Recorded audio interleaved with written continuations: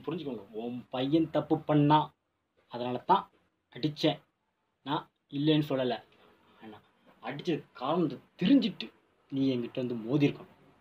அதை விட்டுட்டு தேவையில்லாமல் பொட்ட பொம்பளைக்கு மேலே கை வைக்கிற.